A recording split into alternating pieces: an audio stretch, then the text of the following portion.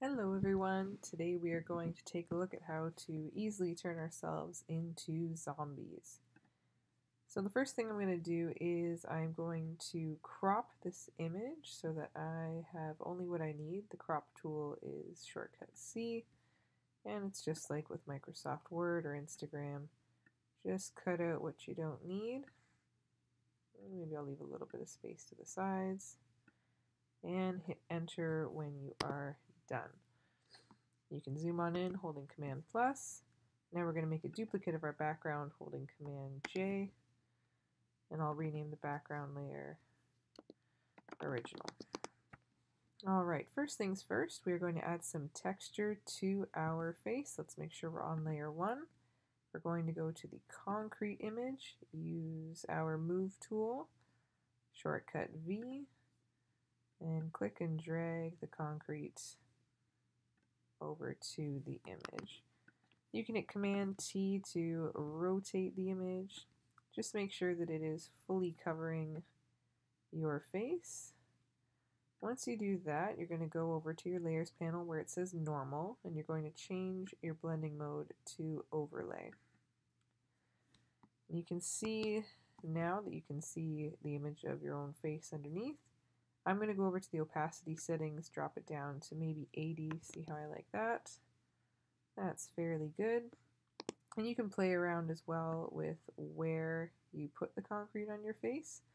Maybe you want a lot of heavy detail, or maybe you prefer the larger uh, patterns on your face. So find whatever pattern you like.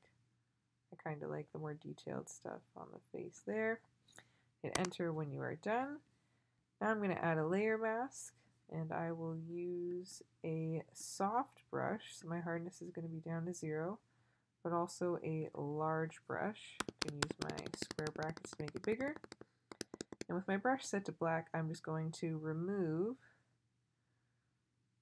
any parts, or rather hide any parts of the texture that I don't need. So I'm taking it off of my hair and my clothes. Now I'm using a soft brush because if I use a hard one, you get very harsh cutoffs, which I don't want. So I'm going to go back to using a soft brush, and then you just get some more faded edges, which helps to ease the transition. Remember, you can make your brush bigger or smaller as needed. You can zoom in to get any areas that are giving you any trouble. And I personally like to take the texture off of the eyes. So I go in nice and close. And I make sure that the eyes stay clean because we're going to mess around with those a bit later. Yeah, that's pretty good. So I am done with concrete now, so I'm going to get rid of that. Now I'm going to change the color of my skin, and I'm going to do this a different way than we did last time because I enjoy using masks for things like this. I'm going to go down to the shape tool. Right now it's on ellipse for something I did before, but the rectangle tool is what I want. And I'm going to click and drag a rectangle over the visible area of my skin. And a new panel is going to pop up. It's called the Properties panel. And here you can see the width and height of the shape this block here is the color of it. And I'm going to give myself um, a bit of green skin. Let's go with the darker green, see how that is. That's really all you need to change here. Close the properties panel, open up your layers panel, and we're going to apply a new blending mode. So I'm going to try overlay, and I'm going to mess around with the opacity. You can click and drag by holding on to the opacity word. That's not too bad. Soft light is another option you could try, but I prefer overlay for this. Good. Once you're happy with that, go ahead and add a layer mask and do the same thing that you did with the texture. Use your brush to take away the color from anywhere that doesn't need it. only really trying to affect our skin right now. So the hair stay like that. Again, I'm going to zoom in, get some more detailed areas, like in by the nape of the neck, edges of the hair, And there we go.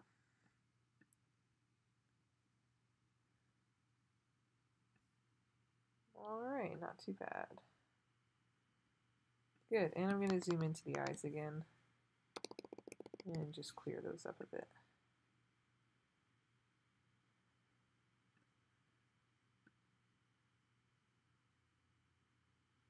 There we go.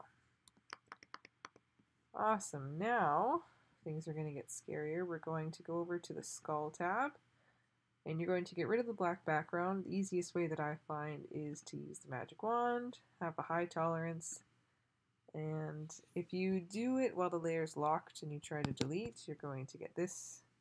So just hit cancel, double click your background layer, and rename it to unlock it. And then with everything selected when you hit delete, it will delete. Remember to deselect with Command D, use your move tool, shortcut V, and let's click and drag the skull over to the image. It's going to be quite big, so zoom on out if necessary, Command T to transform it to size. Remember if you hold Shift and Alt, it'll go uh, and resize according to your center point.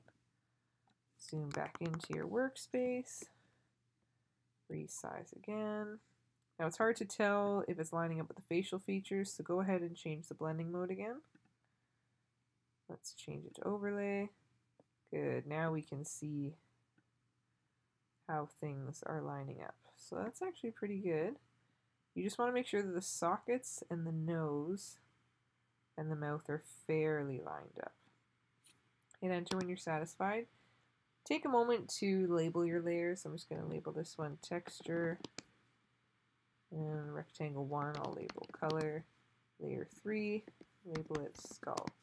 And we're going to add a layer mask to the skull and do the same thing that we did for the last two layers. Use our brush to just fade in the transitions. There's a really harsh outline of the skull, but if you just use a soft brush and kind of go just on the edges, it'll make it look like it belongs more.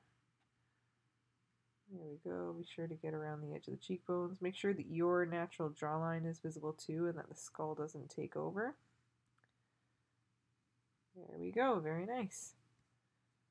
And now Remember that if you hit X, you can change your foreground and background colors so that you can add something that you might have accidentally taken away. Done with the skull. Now let's go ahead and add the ribs, if this is applicable for your photo. So once again, unlock the background. Use whatever tools you want to select this. I'm going to delete that. Use my lasso tool to just get rid of this little bit. Good. Now I'm going to use my move tool and I'm going to drag this over. It's made a new layer.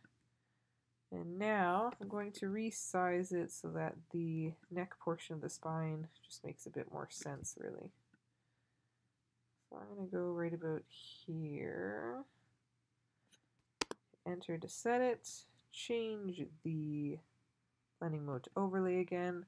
Now that's quite prominent, so I am going to drop the opacity down to maybe about 50%.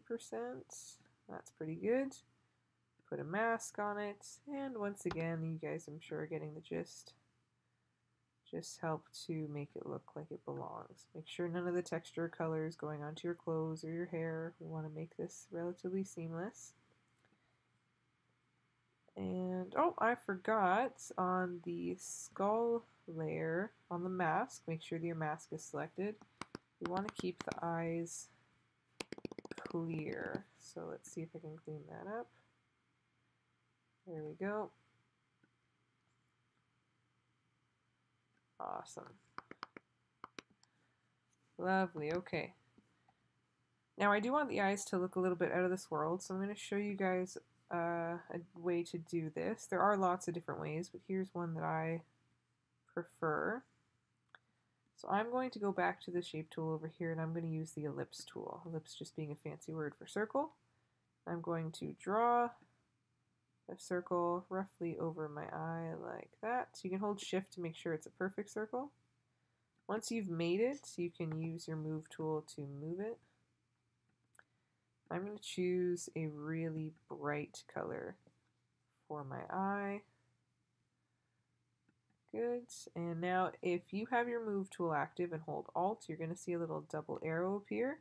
And if you hold alt and click and drag, it duplicates the shape that you had just made. Lovely.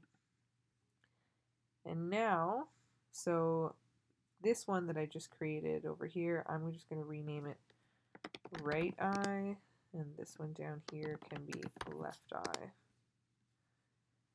And now I'm going to take a moment. You can play around with the blending modes. Depends on the color of your eyes, really, whether or not this works well. You might have to do a few extra steps if your eyes are particularly dark. So I just changed it to overlay, but the perfect circles are kind of bleeding onto my eyelids. So I'm going to zoom in, to add a mask, and then using the brush, I'm going to just kind of trim the bottom where my eyelid is. What I also like to do actually is make the pupil visible again. I'll do the same on the right eye, add a mask, trim the edging where you don't need it. And let's show the pupil again. Let's zoom on out, see how that looks. Good, very nice. And now our final touch, we're actually going to go all the way back to layer 1. And we're going to use something called the burn tool. Now what this is going to do is it's going to help create different reds and browns to help us look even more kind of sore and torn up. So this again is a tool with a brush. So if you go ahead, the first setting we're on, we'll do midtones. Let's see what happens. I'm going to just use it around my eye. So you can see that it's making things darker. I'm going to do that for anything that's really a socket. I'm going to do it around the nose. Good. And I'm going to do it under the chin as well to kind of create some shadow. Good. You can play around with different types. Midtones will create a certain kind of color. Shadows will create something else.